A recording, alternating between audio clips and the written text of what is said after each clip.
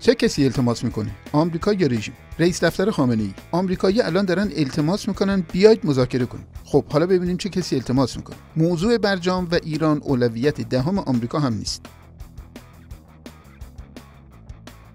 وزیر خارجه آمریکا هم گفته تا رژیم به تعهداتش برنگرده خبری از برجام نیست. نفتکش رژیم رو هم مصادره کرد. این از آمریکا. حالا رژیم. آمریکا تا ابد زمان نخواهد داشت و پنجره فرصت بسیار محدود. ظریف روزای اول. اگر آمریکا نجنبه فرصت از دست میره نماینده رژیم در سازمان ملل بجنبید که پنجره ها در حال بسته شدن است. حالا سوال اگه مذاکره اخ این عجله و بفرما زدن چیه؟ واقعیت اینه کلمه فرصت کد باند روحانی و شرکاست و منظور هم شیش ماه باقی مونده به انتخابات رژیمه و عجله هم برای اینه که امتیازی بگیرن تا در جنگ قدرت در مقابل باند خامنه ای بالا بکشن. خب این یه خواسته می‌تونه داشته باشه اما واقعیت الزاما نیست.